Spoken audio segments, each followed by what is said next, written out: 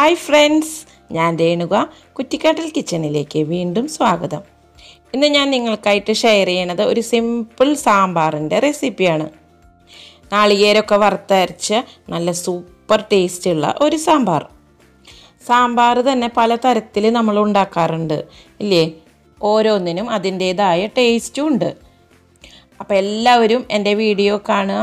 എന്റെ ചാനൽ ഇതുവരെ സബ്സ്ക്രൈബ് ചെയ്യാത്തവരുണ്ടെങ്കിൽ ഒന്ന് സബ്സ്ക്രൈബ് ചെയ്യണം. പിന്നെ എല്ലാവരും തയ്യാറാക്കി നോക്കണം ഈ തേങ്ങ വറുത്തരച്ച സാമ്പാർ. അപ്പം നോക്കിയാലോ? ആദ്യം തന്നെ ഇതിനായിട്ട് അരക്കപ്പ് പരിപ്പ് തുവരപ്പരിപ്പ് സാമ്പാർ പരിപ്പ് പിന്നെ അര സ്പൂൺ മഞ്ഞൾപ്പൊടി എടുത്തിട്ടുണ്ട് രണ്ട് പച്ചമുളക് പിന്നെ കുറച്ച് ചുവന്നുള്ളി പിന്നെ ഒരു ചെറിയ പീസ് കായം. ഇതെല്ലാം ചേർത്തിട്ട് ആദ്യം നമുക്ക് പരിപ്പ് വേവിച്ചെടുക്കണം. ഇത് ഞാൻ കുക്കറിൽ ഒരു വിസിലെടുത്ത് വേവിച്ചെടുക്കുകയാണ്. ഇനി സാമ്പാറിനുള്ള കഷ്ണങ്ങൾ മത്തങ്ങ പിന്നെ ഞാൻ കുമ്പളങ്ങ ക്യാരറ്റ് മുരിങ്ങക്കായ ഒരു തക്കാളി. അതൊക്കെ ഓരോരുത്തരുടെ ഇഷ്ടത്തിനനുസരിച്ച് അളവൊക്കെ തീരുമാനിക്കുക. കൂടാതെ കുറച്ച് വെണ്ടയ്ക്കയും. ഇനി ഇതിലേക്ക് ഒരു ടേബിൾ സ്പൂൺ മുളക് പൊടി ഒരു ടേബിൾ സ്പൂൺ മല്ലിപ്പൊടി എടുത്തു വയ്ക്കുക നിങ്ങൾക്ക് വേണമെങ്കിൽ മുഴുവൻ മുളകും മുഴുവൻ മല്ലിയും ചൂടാക്കി അരച്ചെടുക്കുക കേട്ടോ. തേങ്ങ നാളികേര അരയ്ക്കുന്നതോട് കൂടി. ഞാൻ പൊടിയാണ് എടുത്തിരിക്കുന്നത്. അത് റോസ്റ്റ് ചെയ്തിട്ടാണ് ചേർക്കണത്. ഇനി ഇതിലേക്ക് കുറച്ച് പുളി കഴുകി വെള്ളത്തിലിട്ട് വെച്ചിട്ടുണ്ട്. ഇനി വറുത്തരയ്ക്കാൻ ആവശ്യമായ തേങ്ങ ഒരു അരക്കപ്പ് പിന്നെ ഉലുവ ഒരു അര സ്പൂൺ ഒരു സ്പൂൺ ഉഴുന്ന് പിന്നെ കുറച്ച് ഉള്ളി ചുവന്നുള്ളി ഒരു പീസ് കായം. ഒരു ചെറിയ പീസ് കായം നമ്മൾ പരിപ്പിൽ ചേർക്കുന്നുണ്ട് ഓൾറെഡി ഇത് വറുത്തെടുക്കാനാണ്. പിന്നെ കുറച്ച് വേപ്പിലയും. ഇനി പരിപ്പ് വേവിച്ചെടുക്കാൻ ആവശ്യമായ വെള്ളം ഒഴിച്ചതിന് ശേഷം നമുക്ക് ഗ്യാസ് ഓണാക്കി കൊടുക്കാം. ഞാൻ കുക്കറിലാണ് പറഞ്ഞുല്ലോ പരിപ്പ് വേവിച്ചെടുക്കുന്നത് ആദ്യം. വെള്ളം ചൂടാവുമ്പോഴേക്കും നമുക്ക് ഇതിലേക്ക് പരിപ്പ് കഴുകി ചേർത്ത് കൊടുക്കണം. അരക്കപ്പ് പരിപ്പാണ് ഞാൻ എടുത്തിരിക്കുന്നത്. പരിപ്പ് ഇട്ടതിന് ശേഷം ബാക്കി നമ്മൾ എടുത്തു വെച്ചിരിക്കുന്ന ഉള്ളി പച്ചമുളക് പിന്നെ മഞ്ഞൾപ്പൊടി അതൊക്കെ ഇതിലേക്ക് ഇട്ട് കൊടുക്കാം. ഒരു ചെറിയ പീസ് കായം. ഇതിലേക്ക് ഒരു സ്പൂൺ വെളിച്ചെണ്ണ കൂടി ഒഴിച്ചു കൊടുക്കാം. എന്നിട്ട് നമുക്കിത് ഒരു വിസിലെടുത്താൽ മതിയാവും. പരിപ്പ് വെന്ത് കിട്ടും. അടുത്ത സ്റ്റെപ്പ് നമുക്ക് ഒരു ചീനച്ചട്ടി ഗ്യാസിലേക്ക് വെച്ച് കൊടുക്കാം. നമ്മൾ മുളക് പൊടിയും മല്ലിപ്പൊടിയും റോസ്റ്റ് ചെയ്തെടുക്കുകയാണ്. അപ്പോൾ ഫ്ലെയിം കുറച്ച് വെക്കുക. അതിന് ശേഷം മല്ലിപ്പൊടി മുളക് പൊടിയും ഇതിലേക്ക് ചേർത്ത് കൊടുത്ത് പതുക്കെ ഇളക്കി നല്ല റോസ്റ്റാക്കി എടുക്കാം. പരിപ്പ് ഞാൻ അപ്പുറത്തേക്ക് വെച്ചു കേട്ടോ അടുപ്പ് അടുപ്പിൽ ഇതിൽ ഞാൻ വറക്കാനുള്ള സാധനങ്ങളൊക്കെ തയ്യാറാക്കി എടുക്കാം നമുക്ക് വേഗം. ഇതിന് പകരം നമ്മൾ നാളികേരം വറക്കില്ലേ അതിന് മുൻപ് നമുക്ക് ഒരു പത്ത് പന്ത്രണ്ട് മുഴുവൻ മുളകും ഒരു ഒന്നര ടേബിൾ സ്പൂൺ മല്ലി മുഴുവൻ മല്ലി. അത് വറുത്തെടുക്കാം. അങ്ങനെയും ചെയ്യാം. അത് നല്ല ടേസ്റ്റാണ് ഞാനിപ്പോൾ ഈ പൊടിയാണ് ചേർക്കണത്. അപ്പോൾ ഇത് നന്നായിട്ട് റോസ്റ്റായി ഇതൊരു പാത്രത്തിലേക്ക് മാറ്റാം. ഇനി നമ്മൾ അതേ ചീനച്ചട്ടിയിലേക്ക് തന്നെ കുറച്ച് വെളിച്ചെണ്ണ ഒഴിച്ചു കൊടുക്കാം.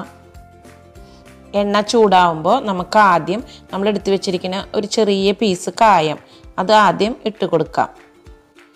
കായം ഒരുവിധം റോസ്റ്റ് ആയതിന് ശേഷം മാത്രം നമ്മൾ നാളികേരം ചേർത്ത് കൊടുക്കാൻ പാടുള്ളൂ.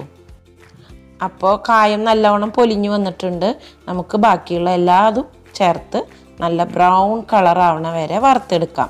അപ്പോൾ ഇതിലേക്ക് ചുവന്നുള്ളിയും വേപ്പിലയും നാളികേരം പിന്നെ ഉലുവ ഉഴുന്ന് ഇത്രയും സാധനങ്ങൾ ചേർത്തിട്ടുണ്ട്. നാളികേരം വറുത്ത് അരച്ച സാമ്പാറിന് ഒരു പ്രത്യേക മണോ രുചിയുണ്ട്? ഇത് അരയ്ക്കാണ്ട് നമുക്ക് ഉഴുന്നും പരിപ്പും കടലപ്പരിപ്പും ഒക്കെ തൂരപ്പരിപ്പും ഉള്ളിയും ഒക്കെ ചേർത്ത് അതും വറുത്തരച്ച അതിനും ഒരു പ്രത്യേക ടേസ്റ്റാണ്. അങ്ങനെയും ഞാൻ ചെയ്യാറുണ്ട്. പക്ഷേ ഇത് വറുത്ത് വരുമ്പോൾ ഒരു പ്രത്യേക മണവും തേങ്ങ വറുത്തതിന്റെ മണം നല്ലതല്ലേ? അപ്പോൾ ദാ ഇത് നന്നായിട്ടായി വന്നിട്ടുണ്ട്.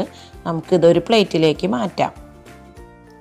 ഇനി വീണ്ടും ഒരു സ്പൂൺ വെളിച്ചെണ്ണ ഒഴിച്ചു കൊടുത്തതിന് ശേഷം നമുക്ക് നമ്മൾ കഷ്ണിച്ച് വെച്ചിട്ടുള്ള വെണ്ടയ്ക്ക അത് ഇതിലേക്ക് ചേർത്തിട്ട് നന്നായിട്ടൊന്ന് വഴറ്റിയെടുക്കാം. അപ്പോൾ നമ്മൾ ചേർക്കണ കഷ്ണത്തിന്റെ കൂടെ ഇത് വഴറ്റാണ്ട് ചേർക്കുമ്പോൾ ചിലപ്പോൾ അതിങ്ങനെ ഒന്ന് കുഴഞ്ഞു പോവും. നല്ല ചള്ള് വെണ്ടയ്ക്കാണെങ്കിൽ കുഴഞ്ഞിരിക്കും. അപ്പോൾ അതില്ലാണ്ടിരിക്കാനാണ് ഇങ്ങനെ ചെയ്യണത്. ഇപ്പോൾ ഇത് നന്നായിട്ട് ഒന്ന് വാടി വന്നിട്ടുണ്ട്. കളറൊന്നും അങ്ങനെ ചേഞ്ച് ആവാൻ പാടില്ല.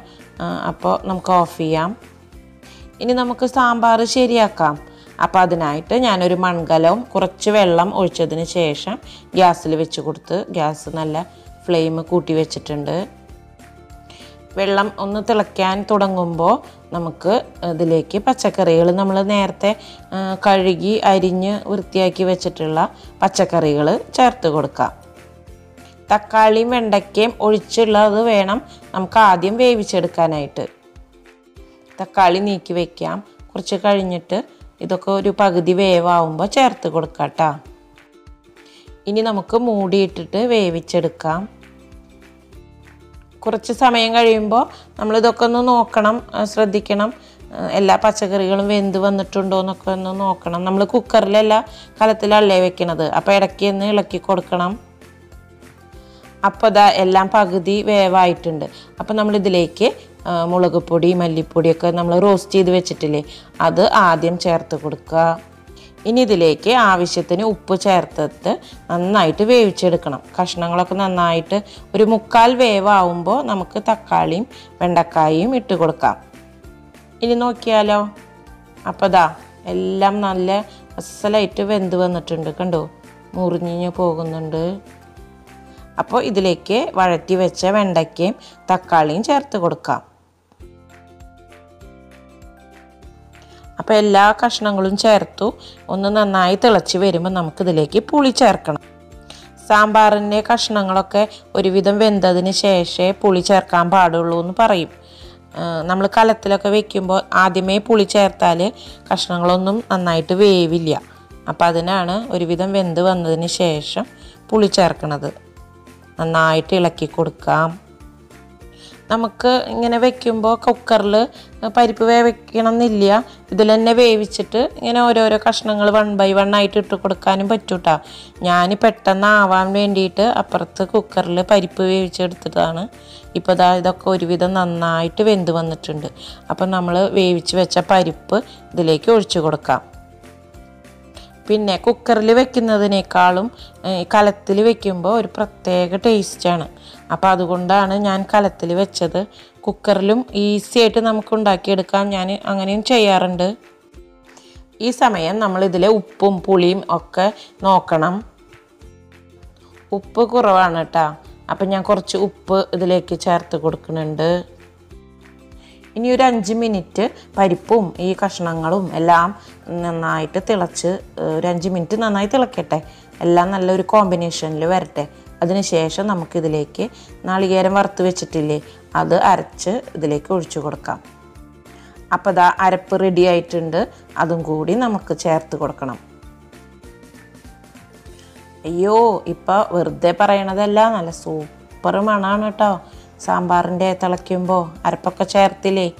പച്ച കായം ചേർത്തു കായം വറുത്തരച്ചത് ചേർത്തു. നല്ല സൂപ്പറായിട്ട് നല്ല മണമുണ്ട്. ഇപ്പം ഇതാ എന്റെ അപ്പുറത്ത് ഇപ്പുറത്ത് ഉള്ള കുട്ടികളൊക്കെ പറയുന്നുണ്ടാവും ദാ രേണീച്ചിയുടെ സാമ്പാർ ഇതേ തയ്യാറായിട്ടുണ്ട് നല്ല മണം വരുന്നുണ്ട് എന്ന് വെറുതെ പറയണതല്ല കേട്ടോ കറക്റ്റായിട്ടും. അപ്പം നമുക്ക് ഗ്യാസ് ഓഫാക്കാം ഇനി ഇത് താളിക്കാം. ചീനച്ചട്ടിയോ പാനോ വെച്ച് കൊടുക്കുക ചൂടാവുമ്പോൾ നമുക്ക് വെളിച്ചെണ്ണ ഒരു രണ്ടോ മൂന്നോ ടേബിൾ സ്പൂൺ വെളിച്ചെണ്ണ ചേർത്ത് കൊടുക്കാം. ഒരു സ്പൂൺ കടുക് ചേർത്ത് കൊടുക്കുക. കടുക് പൊട്ടി വരുമ്പോൾ ഉണക്കമുളക് ഉണ്ടെങ്കിൽ ഒരു നാലോ അഞ്ചോ പീസ് അതും ചേർത്ത് കൊടുക്കുക. ഫൈനലായിട്ട് കുറച്ച് വേപ്പിലയും. അപ്പോൾ ഗ്യാസ് ഓഫാക്കി കൊടുത്തതിന് ശേഷം നമുക്കിത് സാമ്പാറിലേക്ക് ഒഴിച്ചു കൊടുക്കാം. അപ്പോൾ ദാ സൂപ്പർ ടേസ്റ്റി ആയിട്ടുള്ള തേങ്ങ അരച്ച സാമ്പാർ റെഡി അപ്പം നല്ല പാകത്തിന് എരിവും പുളിയും ഉപ്പൊക്കെ ചേർത്ത നാളികേരമൊക്കെ വറുത്തരച്ച സാമ്പാർ എല്ലാവരും തയ്യാറാക്കി നോക്കുക. വീണ്ടും ഒരു വീഡിയോ ആയിട്ട് വരുന്നത് വരേക്കും. എല്ലാവർക്കും നന്ദി നമസ്കാരം.